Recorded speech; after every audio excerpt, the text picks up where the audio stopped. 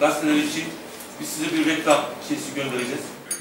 Üreten bir Kütahya olacak. AK Parti Kütahya Belediye Başkan aday adayı Mustafa Önsay, şehir nüfusunun son 15 yılda gösterdiği oransal azalmanın kentteki özelleştirmeler sonrası gelirlerindeki düşüşün en temel şikayet noktası olduğunu dile getirdi. Basın toplantısı düzenleyen Önsay, Kütahya'nın gelişmesi ve büyümesi için önünde birçok fırsatın bulunduğunu ve bunların mutlaka değerlendirilmesi gerektiğini ifade etti. Çözüm önerileri için projelerinin hazır olduğunu kaydeden Önsay, dışarıdan gelen yatırımcı sayısı ve kapasite şu ana kadar şehrin beklentilerini karşılamış değildir. Geçen yıl yerli otomobil fabrikasının şehirde kurulması için mevcut durumun yetersizliği sebebiyle olamayacağını bilseler de bir haftada toplanan 40 bin imza aslında meselenin halk tarafından ne kadar içselleştirdiğini göstermektedir. Halk yöneticilerden öncelikle komşu şehirlerde oluşan ekonomik gelişmelerin Kütahya için de sağlamalarını beklemektedir. Zihinlerde bu gelişmenin devlet yatırımları dışında imkansız olduğu fikri yaygındır. Şehrin bazı sebeplerle Menderes dönemi devlet yatırımları girişimci ruhtan uzak olması ve yine bazı ortak girişimlerin KÜMAŞ gibi ortaklar açısından hüsrana uğraması en başta şehrin kendi kendine ekonomik kalkınmayı gerçekleştirmesinin önünde en büyük engel olarak durmaktadır. Kütahya halkı bilhassa ev hanımları el sanatları ile aile ekonomisine destek olmaya çalışmaktadır. Özellikle dar gelirli ailelerin oturduğu semtlerde, evlerde çini, nakış, iğne oyası, dantel, keçe gibi hanımlar el ürünleri üretmektedir. Fakat piyasa bulmada sorunlar yaşamaktadırlar. Dünyanın yaşamakta olduğu postmodern çağ yerel unsurların el işçiliği ürünlerin tekrar değer bulduğu bir dönemi yaşatmaktadır. Hükümetimiz üreticilere ihracat hususunda çok geniş destekler vermektedir diye konuştu. Üretme dayalı ekonomi devletin sunduğu teşviklerden mutlaka yararlanılması gerektiğini anlatan Mustafa Önsay, Kütahya Belediyesi sahip olduğu Belde AŞ ve Simpaş gibi şirketlerle halkın ürettiği ürünlerin ihracata dönüşmesini sağlayabilir. İhraç edeceği bölgelere uygun bir ürün yelpazesi belirleyecek olan şirket, alım garantisi verdiği ürünleri kalite kontrol sonrası üreticiden alım yapacaktır. Belediyemiz pazarlama şirketiyle ürünleri ihraç edecektir. Hükümetimizin sağladığı teşviklerle dünyanın önemli şehirlerinde Kütahya'nın markalarını taşıyacak satış ofisleriyle hem Kütahya'nın termal ve tarihi tanıtılarak turizme açılması hem de ekonomik girdilerle şehrin ekonomisinin direkt yükselmesi sağlanacaktır. Buralarda görevlendirilecek gençlerin gelecekte ülkemiz için pek çok hizmeti sağlamalarının altyapısı sağlanmış olacaktır.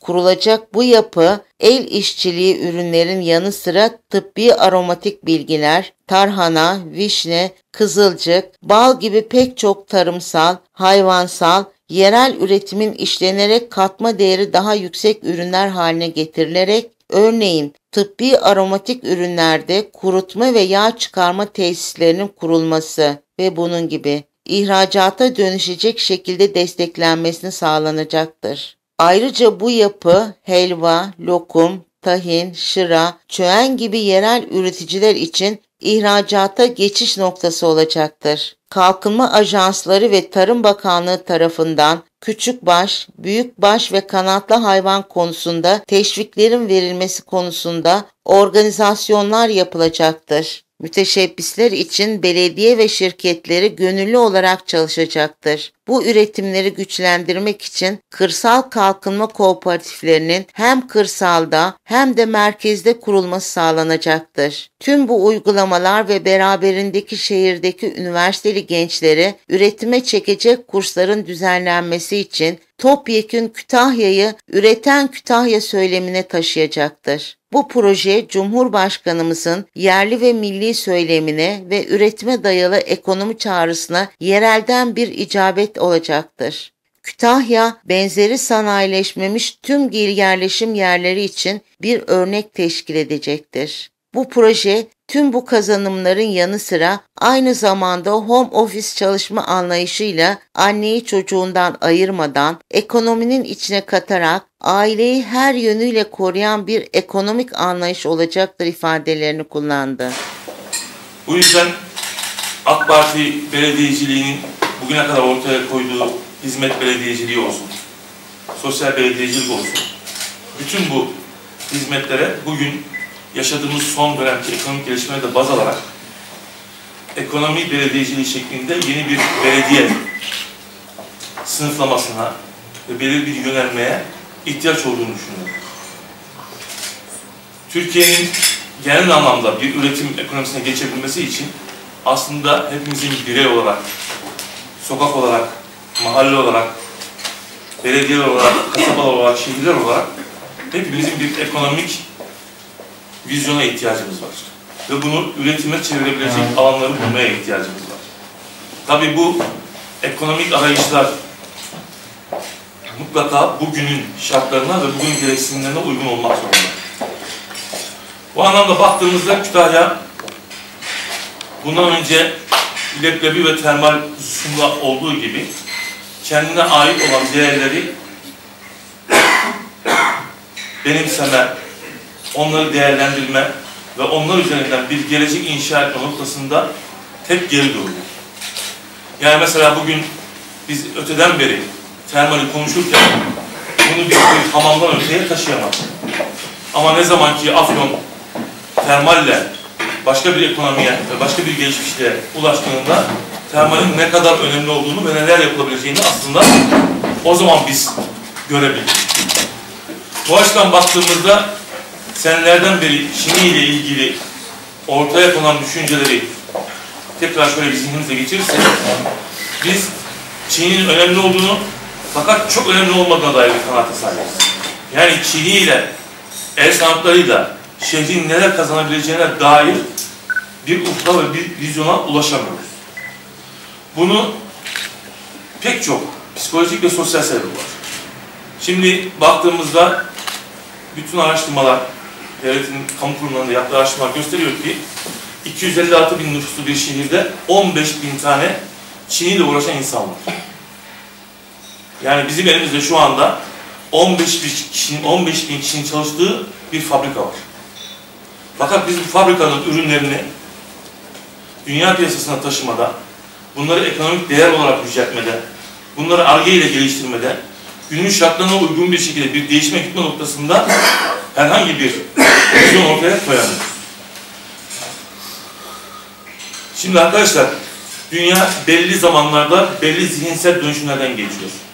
Baktığımız zaman son 50 yılda modernitenin getirdiği bir değişim var. Bu neydi? Hep fabrikasyon ürünlerin insanlar tarafından benimsenilmesi ve onların peşine koşulmasıydı. Fakat son 10 yıl içerisinde dünya başka bir çağa geçti. Bu çağın ismi postmodern çağ. Peki bu çağ ne getiriyor? Bu çağ yerel unsurların, folklorik unsurların, el imalatı ürünlerin tarihte olduğu en büyük değere ulaşmasını sağlıyor. Bugün herhangi bir ürünün altında handmade yazdığında bu bilhassa Avrupa pazarları için ve genelde dünya pazarları için en önemli mal, mal haline dönüş. Yani biz sanayileşmeyi su alabilir miyim? Sanayileşmeyi ıskalamış bir şehir olabiliriz belli alanlarda. Fakat bunu bir fırsata dönüştürmek, başka bir düzlem içerisinde değişik bir ekonomi hikayesi yazmak hepimizin elinde olan bir iş. Ben size bazı örnekler vereyim. UNESCO'nun biliyorsunuz coğrafi işaret bir sınıfı var. Bir takım Avrupa şehirleri, bilhassa İtalya'da üç tane şehir kendi yerel imaratlı olan hususlara bundan 5-6 yıl önce aldıkları coğrafi işaretle yaptıkları yeni bir çalışmayla kendi ekonomilerini 3'e ve 4'e katladılar. Bunları internette herhangi bir araştırma yaparsanız şehirlerin isimlerini ve geçmelerini görebilirsiniz. Bugün de bizim elimizde mesela Çin açısından bir coğrafi işaret UNESCO'ya dair ilgilenen mesleğin bünyesinde var. Ama biz hala henüz bu coğrafi işareti bu Çinli içerisine koyarak bunu dünya pazarlarına götürme noktasında hala bir hareket içerisine girmiş değiliz. Şimdi Kütahya halkı pek çok eksiği olabilir. Bir takım belki hepimiz eleştiriler yöneltebiliriz. Ama herkes bunu kabul eder ki Kütahyalılar sanatkar insanlar. Temelde. Yani bu eee hem Çinlik türü el sanatlarıyla ilgili bir şey hem bildiğiniz gibi musiki sanatlarıyla ilgili bir şey. Yani tarihinde işte yani affedersiniz merkeplerin ras makamında anıldığı söylenen bir şehrin çocuklarıyız aslında temelde. Yani bu toprakların sanata dair kendi içinde yaşayan insanlara verdiği bir şey var. Şimdi biz eğer bugünkü şartlar içerisinde biliyorsunuz devlet ihracatçıya çok büyük destekler veriyor. Sizin mesela diyelim ki bir şirketiniz var. Bu şirketiniz üretim yapıyor ve bunu dünya pazarlarına aktarmak istiyorsunuz. Dünyanın değişik şehirlerinde 25 taneye kadar açacağınız her showroom'a kullanacağınız her deponun kirasını devlet ödüyor. Niye? İhracata katkı yapalım için. Şimdi bütün bunlar varken bizim Kütahya'da insanlarımızın, bilhassa kadınlarımızın el emeği olan ürünlerini dünya pazarlarına taşımama gibi şansımız yok. Yani kuracağımız dört tane belediye şirketiyle 100 ayrı şehirde tüm dünyaya bu ürünleri pazarlayabiliriz. Peki bunu niye yapamıyoruz? Niye biz mesela Çin'i bugüne kadar belli bir noktada değerlendiremedik? Sadece Çin'le ilgili de düşünmeyin. Yani tıbbi aromatik bitkiler olarak da düşünebilirsiniz. İşte tedavi ile ilgili düşünebilirsiniz. İğne ile ilgili düşünebilirsiniz. Bunların pek çok çeşidi var. Burada ben psikolojik bir takım etkenler görüyorum. Bunlardan bir tanesi, çoğu zaman da dilendiriliyor bu. Menderes dönemi devlet yatırımlarının Kütahya halkının girişimciliği üzerinde olumsuz etkisi var. Bir diğer sebep de zamanında yine bir araya gelinerek, bir güç oluşturarak yapılan ekonomik girişimlerde Çumaş, Kütahya Porselen gibi benzeri hadiselerin bir başarısızlıkla sonuçlanması bu iki psikolojik sebep aslında Kütahya'da büyük ortaklıkların kurulmasına, kooperatiflerin kurulmasına, hep beraber şehri bir yere taşıma noktasında Kütahyalıların önündeki en büyük psikolojik engel olarak duruyor. Peki bunun çözümünü nasıl sağlayabiliriz? Yani işte bizim 9 tane devlet kurumumuz satıldı, özelleştirildi. Yerine yenisi kurulmadı. Niye kurulmuyor diye baktığımızda bugünkü devletin gelip herhangi bir kit yapımını, yatırımını buraya taşıması mümkün değil. Bunu bizim kendimiz başarmamız gerekiyor. Bunu halkımız başaramıyorsa, dediğim gibi sebeplerden dolayı, böyle bir yola girişilemiyorsa, bunu belediye olarak, yani ekonomi belediyesinin şey burada başlıyor. Belediye olarak biz halkımızın ürünlerini kalite kontrolünden geçtiği andan itibaren hemen ücretini ödeyerek almamız lazım. Ve belediye olarak bunun dünyaya pazarlanması hususunda öncülük yapmamız lazım. Bu şirketler vasıtasıyla. Eğer bunu başarabilirsek, Kütahya'daki bir bayanın iki gün uğraşarak, emek vererek çizdiği tabaktan kazandığı 25 lirayı 75 lira ve 100 lira yapma imkanına sahibiz. Yine aynı şekilde ayda 10 tane tabak yapabilecekken ikiden fazla tabak almadıkları için kendisinden satamadığı için alan üretimini devam ettiremeyen bu fabrikanın 15 bin kişilik bir fabrikadan bahsediyoruz. Bu fabrikanın kapasitesini arttırmamız gerekiyor. Bunu yaptığımızda Kütahya'nın değişimine, ekonomik olarak gelişiminin nereye varabileceğini bugün sunuyor. Az önce söyledim. Yani İtalya'daki şehirlerde, Almanya'daki bazı şehirlerde bunun gerçek ve real uygulamaları var. Bizim bunu yapmamız gerekiyor. Yani biz işte yol yapalım, vazo yapalım, işte teleferik yapalım bunlar da yapılması gerekiyor. Ama temelde şu anda halkımızın, Kütahyalı insanların bizden beklentisi şehrin ekonomik anlamda önünün açılması. Kendilerine sahip çıkılması, önderlik edilmesi. Bu anlamda Kütahya Belediyesi'nin var olan bütün bu fırsatları gerek halkın kapasitesi anlamında, gerek devletin verdiği destekler anlamında mutlaka ele alması gerekiyor ve bu halka bir ödül getirmesi gerekiyor. Bunu sağlayabildiğimiz noktada Kütahya'nın değişimine ve gelişimine hep beraber şahit oluruz. Türkiye olarak da, Kütahya olarak da üretim ekonomisine geçmekten başka herhangi bir çaremiz yok. Diğer ekonomik uygulamaların Türkiye'yi ve Kütahya'yı getirdiği nokta bu.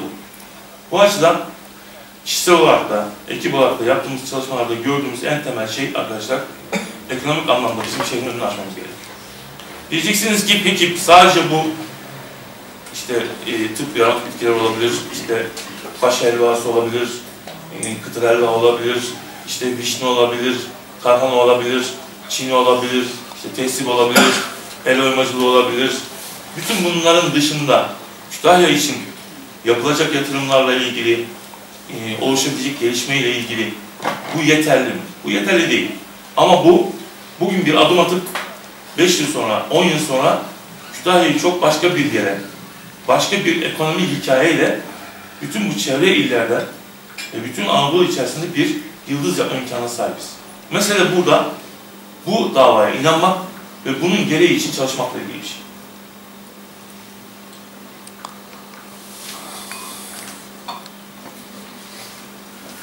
Bu ekonomi meselesi içerisinde arkadaşlar bir başka mesele de şu. Biz Kütahya Belediyesi'ni düşündüğümüzde diyoruz ki işte 256 bin veya 250 bin gelir olan bir yerden bahsediyoruz. Bunun bugünkü şartlarda personel maaşlarının ödenmesi ve gerekli birkaç şeyin yapılması dışında yeterli bir şey yok. Yerini zaten görüyoruz. Bunun aslında e, CK projeleriyle ilk örnek, örnekleri verilmişti Kütahya açısından. Kütahya için, Kütahya'nın kendi isteklerini, ihtiyaçlarını belirlediğimiz hususlarda dünyada 500'e yakın fon var. Bu tip projelere destek veren. 120 tane birlik var Türkiye içerisinde. Mesela belli bir proje ekibi kurarak isteklerimizi, arzularımızı ve ihtiyaçlarımızı doğru projelendirip bunların işte az bir katkıyla Kütahya kazandırılmasını da sağlamamız gerekiyor. Yani biz eğer şunu beklersek işte e, bize ileri arasına gelen paraşütler artsın, işte şuradaki dükkanı şey satalım, şuradaki araziyi imar açalım, onları satalım diye bakarsak bu işin gidebileceği çok bir yer yok. Bizim direkt günümüzün gereği olarak projeleri önermemiz lazım. Ben şahsi olarak söylüyorum bunu ki mesela biz kıymet olarak da, yönetici olarak da arkadaşlar siz görüyorsunuzdur yani pek çoğunu haberdarsınız. Yaptığımız bütün projeler gelirini bütçelerden, başka bütçelerden karşıladığımız işler. Yani biz kıymet olarak kimseden bir kuruş para istemedik. Yönetici olarak da istemedik. Ne yapacaksak bunu doğru projelendirip doğru yerlere başvurarak buraya geldik. İşte Nazif Bey de burada. Bizim şu ana kadar yürüttüğümüz 15 tane proje var. Ve bunların tamamı işte 100 bin ile 150 bin arasında bütçesi bazen İçişleri Bakanlığı'ndan, bazen Gençlik Spor Bakanlığı'ndan, bazen Aile Sosyal Politikalar Bakanlığı'ndan. Devamlı, bazen de AB projeleriyle. Devamlı biz bütün bu harcayacağımız sermayeyi, parayı hep dışarıdan getirip buradan harcama yoluna gittik. Aslında bunu büyüttüğünüzde Kütahya Belediyesi açısından da aynı şeyleri yapmak zorundayız. Yani e, ne kadar daire müdürlüğü varsa, il müdürlüğü varsa, ne kadar bakanlık varsa bunların hepsinin arkadaşlar doğru projelerle gittiğinizde edinebileceğiniz pek çok şey var. Biz bu noktada zaaf gösteriyoruz. Biz kendi içerisimizdeki kavgalar, o şunu dedi, bu bunu dedi, o şöyle yaptı, bu böyle yaptıdan öteye çıkamadığımız için ve doğru projeleri ortaya koyup doğru şekilde projelendirip doğru adresine gidemediğimiz için başarı sağlayamıyoruz. Nasip olursa böyle bir görev bize verici olursa şu ana kadar zaten gerçek içerisinde de çalıştığımız bir projektimiz var. Onu daha da genişletip Kütahya'nın tüm sorunlarıyla ilgili, az önce bahsettiğim sosyal donatılarla ilgili, tarih evlerle ilgili, yine e, Sultan Bağları projemizle ilgili. Yani bütün bunların arkadaşlar e, gerekli bütçesini bu tip kaynaklardan karşılayıp bu şekilde yürümeyi düşünüyoruz. Zaten bunun da yani çünkü mevcut ekonomik şartlarla devlet yatırımlarıyla ilgili biliyorsunuz, kısıtlamaları da biliyorsunuz. Çok fazla da bir yol yok. Fakat mesele şu ki bizim önce bunu yapabilecek bir ekibi ortaya koymamız gerekiyor ve Kütahya halkını da bu projelerin arkasına alabilmemiz gerekiyor. Yani Kütahya'ya rağmen Kütahya'ya bir şey yapmak imkansız. Bunu görmemiz lazım. Yani halkı ikna etme hususunda onların da desteklerini alma hususunda azami gayret göstermek zorundayız. Yoksa ben yaptım olduğum mantığıyla devam edersek yaptığımız hiçbir işi ne beğendirmemiz mümkün ne de insanlarımıza bunun bir fayda getirdiğine dair ikna etmemiz. Yaşıyoruz, örnekler var. Ben şimdi isimlerini söylemek istemiyorum. Ama bunların hepsini hepiniz yaşadınız. Yani bu açıdan arkadaşlar düşündüğümüz ekonomik belediyecilik anlamında ortaya koyacağımız her şey temelde insanımızın gelirini arttırmak ve devamında da bu gelirle daha iyi bir hayat yaşaması için işte Eskişehir'e, Afyon'a, Bursa'ya gitmeden sosyal donatıları, onların aradığı sosyal donatıları, beklediği sosyal donatıları ve sosyal hayatı Kütahya'ya getirmek olacak. Yani biz bu iki meseleyi hem ekonomiyi hem sosyal donatılar meselesini çözdüğümüzde ben inanıyorum ki Kütahya şu anki durumda çok daha iyi yere gelecek ve Kütahya halkı hayatından çok daha memnun hale dönecek. Şimdi Kütahya'nın kendi tarihinin ne kadar büyük olduğunu, işte Beylerbeyi olmasını, ilim irfan şehri olmasını, 13 tane üniversiteye zamanında sahip olmasını, bugün hepimizin aklında tatlı bir hatıra olarak kalmasının önüne geçmemiz lazım. Yani bu şehrin tekrar Anadolu içerisinde bir yıldız haline dönüşmesi için, bir merkez haline dönüşmesi için Allah'ın verdiği pek çok imkan var. Termal öyle, madenler öyle, işte az önce söylediğim insan kaynaklarımız öyle, iklimimiz öyle. Ama biz bu bunları e, hep e, değerlendirmek yerine bunlar üzerine konuşmayı düşünüyoruz. Ve bunlar üzerine eleştiri getirmeyi tercih ediyoruz. Elimizde ne varsa, bize ne verildiyse, bütün bunları nasıl değerlendirebiliriz ve bütün bunlarla nasıl bir Kütahya oluşturabiliriz buna bakmamız lazım. Ve bunun için de gereğini uğraşarak ortaya koymamız lazım. Bir diğer mesele de bizim kurumlar arası arkadaşlar ortaya koyduğumuz ben yaparım, sen yaparsın değil. Yani arada bir birliktelik kurarak, kuramayan, bir araya gelemeyen, sadece Kütahya için olsun, şahsi veya kurumsal ihtiraslardan uzak olan noktasına gelme hususunda büyük problemlerimiz var. Bu da aslında temelde belediyenin sağlaması gereken bir şey. Şimdi bir kurum amiri bir bakana, bir genel müdüre bağlı. İşte bir vali devlet başkanına bağlı. Ama bir belediye başkanı halka bağlı olmak zorunda. Ve bu halkın menfaati neyse onun için fedakarlıkta, felakatta bulunmayı bilmek zorunda. Yani belediye başkanı olmamız veya olmak arkadaşlar insanların üzerinde bir sulta sahip olmak anlamına gelmiyor.